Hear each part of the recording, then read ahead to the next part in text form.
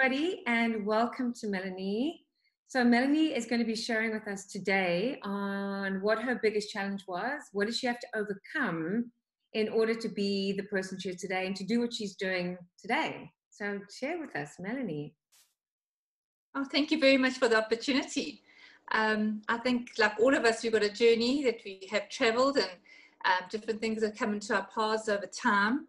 Um, for me, I was in the um, the finance sector initially when I met my husband, and then had a vision of where I wanted to be, and then ended up marrying a farmer, which totally took me off course. Um, I wasn't really expecting that, and yeah, I moved to the farm and basically had to try and find something to keep myself busy and redefine myself. I had, I was independent. I had my own flat, my own car, and suddenly now um, I was living at the end of the road, end of the sticks, not knowing anybody, and how to basically reinvent myself.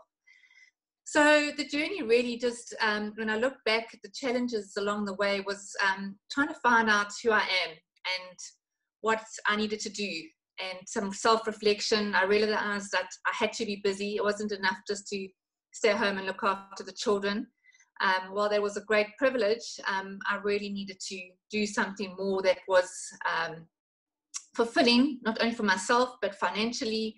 I needed to have something that was, was my own. So various things came my way. I started with a small poultry business, um, and that was great until I, um, my husband said to me I needed to start paying for the chicken food, and I realized it wasn't so profitable afterwards. so um, gave that a skip, and then the children were a bit bigger and got involved with school marketing, and absolutely loved that. So I realized my my passion was really about um, making connections with people. Um, also, I think when I look back now, um, making connections was what I was good at. So I, I could fill a particular problem with a um, somebody who had the need to or the skills to actually put it together. So I learned about myself and to not second guess myself, and that the, the, the challenge was to really just to embrace it. Was probably the biggest thing was just embrace what I could actually do well, concentrate on that, and build on it. So yeah, basically over time, one thing led to the next. Um, children got bigger, decided to open a, a, health shop. I did that for a while. It was an opportunity with a bunch of ladies. We we had um, we, we used to hold markets and supporting local was very important to me and giving back to the community. Um, and that was a great start to the love, the love to actually serve. Um, and the more I did that, the more things came my way and then basically um, daughter went off to um, university and we decided to sell one of our other properties invested in um, Ballito. And while I was down in Cape Town visiting her, I stayed in one of the Airbnbs. And I looked at this and I thought, you know what, I could do this. I, I enjoyed the idea of this. Um, so I started, I, I converted our, uh, this is a small apartment we have in Ballito. I decided to start with Airbnb and started um, investigating the short-term rental market, um, did some courses, and there were lots of challenges, didn't understand how it all worked, didn't understand the, the jargon that people were using, um, was really just self-taught. And then I started reaching out, so I managed to find a mentor who sort of gave me some advice there, and that was huge. That made such a difference, just speaking to somebody who understood the language and understood what was going on and it's grown from there. I was managed to add more properties to our portfolio. And what I've really, really enjoyed, probably you and I reflect on things, is the workshops I've held for other hosts. So while I enjoy what I do and I love having my guests and I love um, solving the problem of what, what their needs might be, if they're coming for an anniversary or um, they're coming to, I mean, the one guy wanted to propose, so you wanted some behind the scenes things. Um, so I love that part of it, but I also love the workshop side of it and giving back to to the hosts who struggled like I did right at the beginning. And things have moved so much during lockdown. Um, you've either stayed put or you've pivoted, is my favorite one I've heard along the way. Um, one door closed, try another door, that one closed, keep going. Um, so if anything I've learned is just to to really learn as much as you possibly can. Stretch. I have never learned so much in this time as far as um, I actually looked looked at one of your videos. You talked about um, analytics, and um, I learned about that and SEOs and search words and um, Google My Business. I mean, all of that was foreign. Um, so when I started, um, yeah, during lockdown, I looked at that and I, I really tried to um, upskill myself so I was more prepared. but also just to really give back to to my other owners. We have a, like a referral group that we refer people to, to if we can't accommodate them. And that's been great because we're not losing those guests who would normally just, if you say, no, sorry, I can't accommodate you, um, let us go and find some, somewhere else. At least we're keeping them local, they're keeping them in the area. Um, I've got about 35 apartments at my fingertips that we can offer to them. Um, so it's, it's just been great to acknowledge where your shortcomings are, my shortcomings at least, and trying to upskill where I'm not good at. I mean, for example, writing blogs are not my favorite, so I've had to play my daughter, um, who is a graphic designer, to write my, my blogs for me and give me some insight there. So where I'm, where my where my strengths are, I try to concentrate on that, and then where my weaknesses are, and I try to upskill and learn how to do better. So if you were going to say that there was, um, like, if there was a specific skill or strength that kind of held you back, that you needed to face or overcome to be where you are now, what would that be?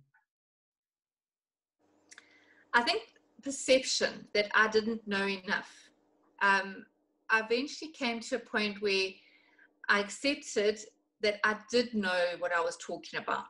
Um, I, I, didn't have to be the professor in the class. Um, I could be the teacher in the class, but I had enough information, enough skill that I could share that.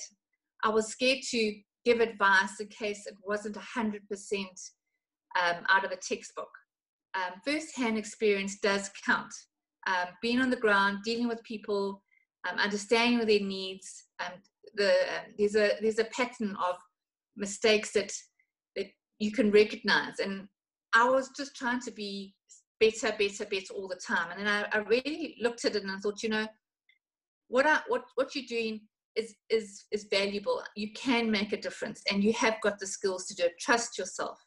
And i think when i got to a point where i actually thought okay i can do this. I can make a difference in somebody else's life they don't have to make the same mistake I made. And if they're willing to listen, they're willing to learn, um, if they're willing to brainstorm, something will good come out of that. You know, it's not going to be lost. Um, so once I really just accepted that I, I, I did know what I was talking about and my, my opinion did matter and it had made a difference, that was a huge sort of revelation that my, my point of view was valued. And I think that was my biggest hurdle to overcome also there's for you there's such a strong sense of community which also just shows that you really want and i get that. That's exactly why i'm creating this group. I'm creating this group because i believe everybody's got a story to tell. I don't believe in selling. I don't believe in self promotion i don't believe in that. But i believe in a sense of community. When we work together we know each other's stories and we see how we can support each other. That's how we grow. And when we grow within ourselves everything else grows and that definitely is something that you're clearly very involved with is supporting other people in community yes and also the, the, the biggest thing for, for me for, for my group was when i was talking about um, you know doing referrals i had quite a bit of resistance from some of the hosts to say well you know if, if they share their guests they're not going to come back to them next time and I, I, just said, no, that's not what it's about. You don't, there's a, there's a, if you have an abundance mindset, if you give it out, that much more comes back to you. So as soon as I, I sort of had to get past that challenge with, within my own group, and I really, Bridget, it's come back in leaps and bounds. What what I've given out and helped a handful of people, this group that I've got, um, what are we, we're about 25 people.